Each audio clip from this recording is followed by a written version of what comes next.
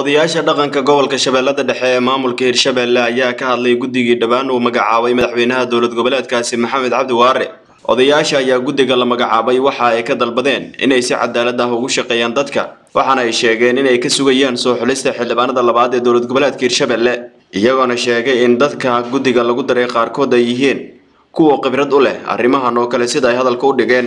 Ilaahayna towfiiqa ka dhigo guddiga doorashooyinka uu madaxweynaha soo magacaabay oo kooga iyo tobanka qofooda.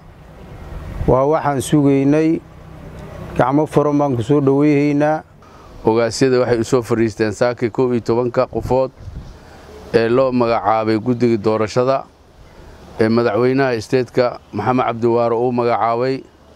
Soo dhowaynteeda ayaan iskugu nimid maanta meeshaan.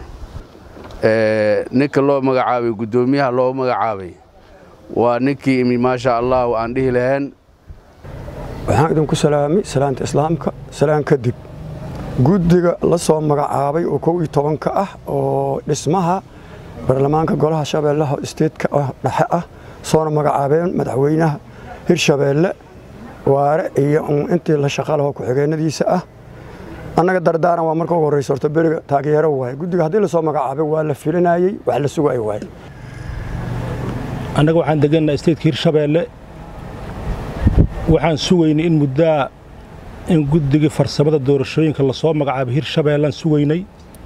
In muddoaan sugaynay madaxweyne maxamed cabdi waare madaxweynaha hirshabeelle ayaa ku dhawaaqa habeen hore guddigaas.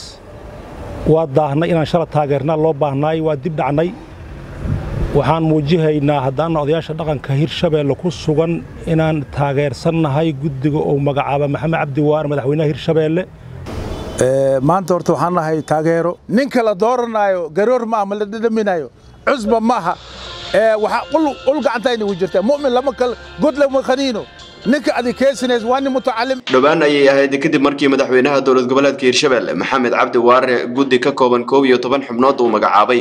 Kuwaasi oo ah guddiga farsamada ee soo xulista baarlamaanka labaad dowlad goboleedka hirshabelle cumar yuusuf raadayaha iyo telefishinka city muqdisho